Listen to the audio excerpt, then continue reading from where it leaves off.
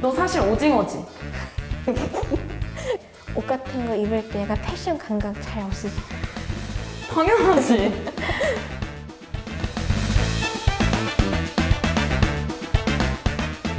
네, 오늘은요, 어린이날을 맞아 꿈나무 기자단으로 맹활약 중인 기자님을 모셔봤습니다. 안녕하세요. 안녕하세요. 간략하게 자기소개 부탁드려도 될까요? 아, 네. 저는 수원 정천초등학교 6학년 어린이 기자 김종아입니다. 아, 네. 말씀을 굉장히 잘하시네요. 근데 요즘에 초등학교 6학년에 하루 일과가 조금 궁금한데 여쭤봐도 되겠습니까? 아, 저 같은 경우에는 일단은 아침에 일어나서 그다음에 학교를 바로 갔다가 뭐 학교 끝나고 이제 약간 밥을 먹고 그다음에 좀 공부를 하고 중간중간에 약간 쉬는 느낌으로 그런 식으로 하루를 보내고 있습니다. 아, 그러면 지금 쉬는 시간에 저희가 이렇게 부른 거네요. 아, 아닌가요? 오늘은 굉장히 특별한 또 날이기 때문에 왜죠? 아, 이런 방송 촬영이 있는 날이 아, 날이죠. 혹시 방송 출연하는 걸 굉장히 좋아하시는, 네, 어, 저 진짜요? 되게 이렇게 약간 말하거나 그런 거 굉장히 좋아해요. 어, 그럼 살짝 관종. 약간 그런 느낌도 있긴 해요. 어, 굉장히 진짜요?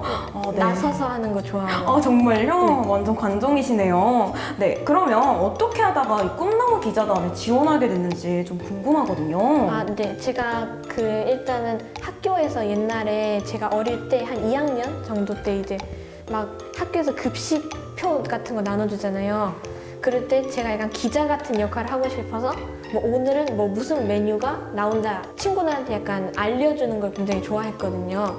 그랬는데 학교 기자단이 있다는 사실을 들어서 그걸 꼭 하고 싶었는데 그게 초등학교 고학년만 신청이 가능했던 거예요. 그냥 활동을 하다가 제 어머니가 또 이제 꿈, 경기도 꿈나무 기자단이라는 게 있다라는 걸 알려주셔서 제가 이 꿈나무 기자단에 신청을 하게 되었습니다. 그러면 완전 100% 이제 본인의 의지로 네, 맞아요. 아, 네, 그렇군요. 그러면 요즘 초등학생 사이에서 가장 유행하는 게 혹시 뭔지 물어봐도 될까요? 그 포켓몬빵인가? 아. 그거가 되게 유행한다고 하더라고요. 그래서 제가 준비한 게 포켓몬빵은 아니고요. 그 옛날에 유행했던 게임인데? 당연하지 게임이라고 혹시 들어보신 적 아, 있으세요? 네, 맞아요. 그 반에서 네. 학기 초에 했었어요. 저희 반에서. 그럼 이 게임을 알고 계신다는 네, 거예요? 알아요. 네, 그래서 그 게임을 한번 진행을 해볼 건데요. 상대가 무슨 말을 하든 이제 당연하지라고 대답을 해야 되는 게임인데 여기서 이제 기분을 나빠하거나 말문이 막히면 지는 게임입니다. 네. 네, 그럼 한번 지금 당연하지 게임을 시작해 보겠습니다. 음, 너 사실 전교 1등이라면 못생긴 걸로. 당연하죠. 어, 방송 진행 같은 거 지금 이렇게 하시잖아요. 네. 이런 거 되게 초보라고 하시면. 당연하지. 너 그거 머리 가발이지? 당연하죠. 지금은 이게 화장하셨는데 화장 안 하시면 안 예쁘시죠? 당연하지. 너 사실 오징어지? 당연하죠. 어, 원래 옷 같은 거 입을 때 약간 패션 감각 잘 없으시죠? 당연하지. 어, 네, 여기까지 서로 상처만 남은 당연하지 게임인 것 같네요. 네. 두 번째로 준비한 게임이 바로 밸런스 게임인데요.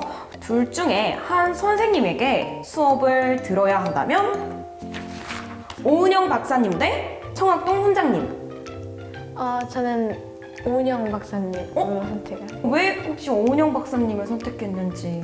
약간 이렇게 약간 어린이에게 이렇게 뭐 이제 이렇게 알려 많이 알려주고 그런 이제 상담을 해주시는 분이잖아요. 근데 어 약간 그런 면에서 약간 도움을 많이 받을 것 같아서 그러면 저한테 청학동 훈장님은 도움이 전혀 안 된다. 라는 말씀이시군요. 아, 그, 그렇게 나쁜 의도는 아니었어요. 아, 네. 그렇죠. 네. 종아 기자님은 금쪽이가 아니기 때문에 오은영 박사님을 선택한 것 같습니다. 네. 그러면 수아광 가두스라는 유튜브 채널을 운영하는 걸로 알고 계신데 지금 현재 구독자가 5천 명 정도 돼 있는 걸로 알고 있습니다. 그래서 여쭤보겠습니다. 100만 유튜브 대기 대 꼴랑 수학왕 대기. 어, 저는 그냥 수학왕. 어? 네. 왜죠?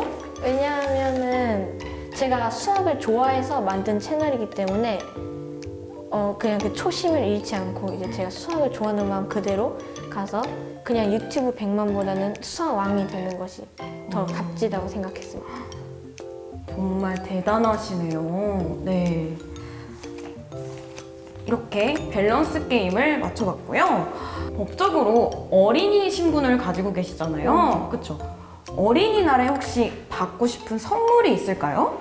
어, 이번 어린이날에는 사실 제가 어릴 때는 너무 갖고 싶은 게 많아가지고 막 결정하는 게 너무 힘들었거든요. 근데 이제 약간 크면서 확실히 받고 싶은 선물이 많이 없어진 것 같긴 한데 한번 골라보자면 어 제가 약간 샤프를 모으는데 그 모으는 샤프가 약간 단종된 샤프들 있잖아요. 아, 그런 거 모으는 거를 좋아해서 한번 단종 샤프를 이렇게 받는 받으면 되게 좋을 것 같습니다. 아, 네.